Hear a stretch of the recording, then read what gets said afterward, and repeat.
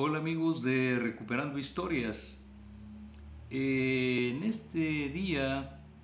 vamos a platicar sobre algunos aspectos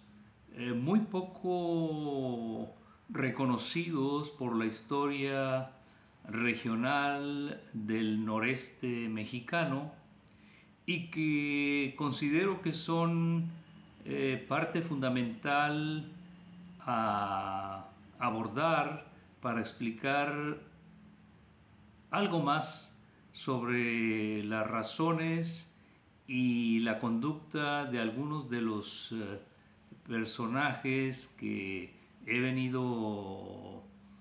eh, platicando en estos videos, personajes que marcaron y que fueron eh, importantes en la historia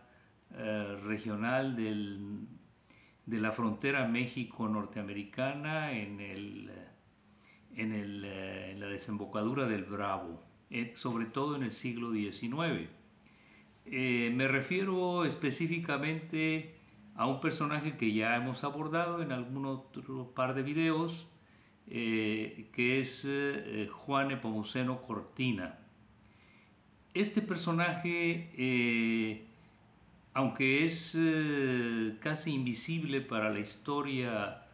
mexicana, eh, a nivel regional de la frontera tamaulipeca-tejana, sí eh, desarrolla una actividad importante que marcó el siglo XIX, marcó la historia del siglo XIX en esta parte de México y en el sur este tejano. Eh, así es que quiero abordar en este video otro aspecto que no toqué en el video anterior y que creo que sí es importante para eh, comprender un poco más eh, sobre el proceder de este hombre tan controvertido que para algunos fue simplemente un bandolero y para los que conocen su historia a fondo eh, entendemos que estuvo muy lejos de ese concepto. Fue un hombre eh, que al final de su vida creo que demostró que tuvo más, muchas más virtudes que defectos y que luchó por una causa justa. Eh, voy a, a enfocarme en algunos eh, aspectos generales, muy generales de su vida y daré lectura a tres, cuatro puntos o un poquito más de lo que de su biografía. Su nombre completo era Juan Nepomuceno Cortina Gociascoechea, eh, conocido más como Cheno Cortina o el Robin Hood del Río Grande. Nació en Camargo, Tamaulipas, un 16 de mayo de 1824 y murió en Azcapotzalco, eh, en el centro del país, Ciudad de México, un 30 de octubre de 1894. Eh, es conocido por eh, la resistencia como un líder de resistencia contra la ocupación de Texas y concretamente contra la ocupación eh, del área que queda entre el río de las Nueces y el río Bravo eh, después de que Texas fue anexado a, la Unión Americana. Las guerras de Cortina, que así le llaman históricamente a sus... Participaciones en este tipo de resistencia eh, se ubican en el tiempo más o menos entre 1842 y 1846 y entre 1859 y 1861. Eh, participó en la construcción del fuerte Casamata en Matamoros en 1864 participó en la guerra contra la invasión francesa eh, y por intrigas políticas a finales del siglo XIX fue retenido en Ciudad de México hasta su muerte en pleno porfiriato. Eh, heredó en tierras tejanas sobre el río Grande eh, vastas extensiones de tierra por, el, por la familia de su madre y eh, su madre era a su vez descendiente de una de las familias colonizadoras en el siglo XVIII de esta región tejana eh, y que descendía de Marcos Alonso Garza Falcón y Juana de Treviño. Su nombre, el nombre de su madre era Estefana Goseas Coechea. Eh, las batallas principales en las que eh, participó fue en la batalla de Palo Alto y en la batalla de la Resaca de La Palma. Y Juárez lo alcanzó a nombrar comandante militar de las fuerzas en la frontera del sudeste, participó en la batalla de Puebla y acabó hecho prisionero en Santiago Tlaltelolco hasta 1890 y eh, obtuvo una libertad condicional posterior a esta prisión y murió en 1890 94 en Azcapotzalco. Bueno, esta vida tan azarosa de, Cheno Cortina eh, en general se vio marcada por eh, una serie de eventos en donde la justicia evidentemente estaba eh, muy lejos de practicarse y en términos muy generales y en el, haciendo eh, un balance de la vida de este hombre, creo que su vida fue una constante lucha por hacer valer el derecho y la justicia,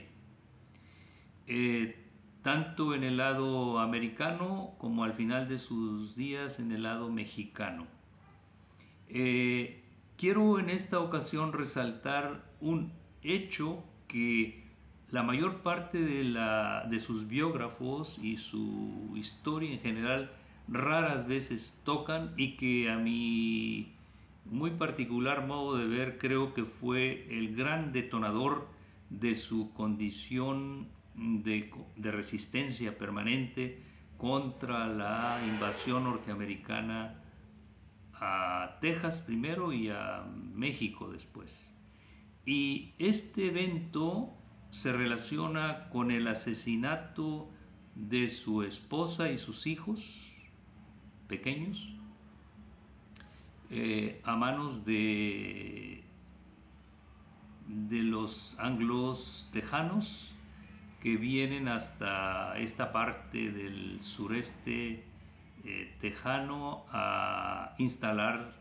su, su su presencia y su gobierno y que ante la resistencia de la familia de él, de Juan N. Cortina y su madre, a vender tierras, las tierras que ellos poseían, eh, en ese tipo de, de contrariedad matan o acaba muerta su esposa y sus hijos y logran salvarse él y su madre. Hay una tribu de, tribu de indios nativos, los llaman de distinta manera, los Carancagua, con los cuales la familia de él eh, mantenía nexos desde el siglo XVIII, eh, mediados del XVIII, cuando eh, se trasladan a toda esta área entre Corpus Christi y Matamoros. Y ellos finalmente la, historia los ubica como los que participaron en este evento y logran salvar la vida tanto de Juan N. Cortina como de su madre. Eh, pero la de su esposa y sus hijos no. Entonces creo que un evento de esta naturaleza, un eh, evento tan trágico donde mueren asesinados su esposa y sus hijos, definitivamente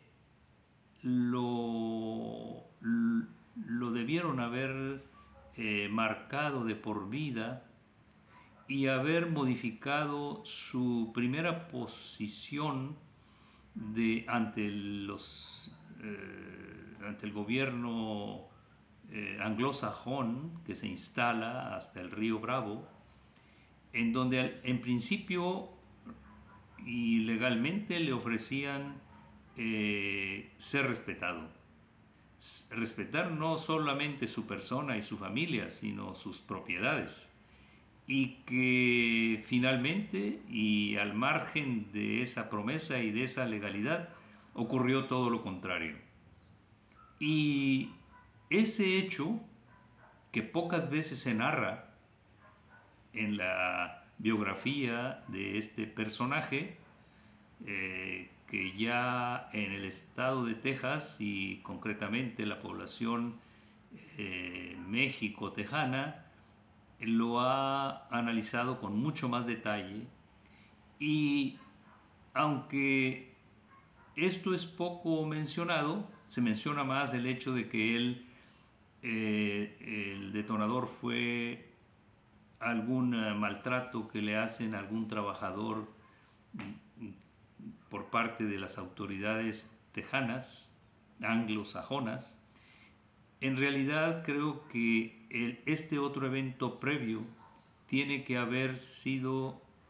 eh, mucho más importante para la reacción de resistencia que después él guardó por el resto de su vida hacia todo este tipo de arbitrariedades cometidas no solamente por las autoridades locales eh, en esta área de Texas hacia la población mexicana, sino por la indiferencia, tal vez eh, premeditada, de otras instancias de la ley eh, en la Unión Americana hacia este tipo de derechos que por ley él y los mexicanos que habitaban esta región eh, en teoría tenían y que no fueron mm, acatados por quienes debían eh, impartir el derecho y la legalidad como autoridades anglosajonas en esta parte que México había perdido. Entonces, eh, básicamente en estos breves minutos quisiera nada más hacer notar este hecho que, que poquísimas veces se detalla dentro de su biografía, pero que creo que es necesario mencionarlo y sacarlo a la luz y, lo mejor, eh, investigarlo a fondo, porque mm, las biografías a medias muchas veces nos llevan a prejuzgar eh, al personaje biografiado. Bueno amigos de Recuperando Historias, espero que estos breves minutos sobre la biografía de Juan Nepomuceno Cortina sirva para que consideremos o reconsideremos eh, las acciones de este personaje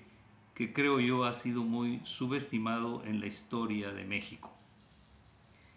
Hasta pronto y nos vemos en próximos videos.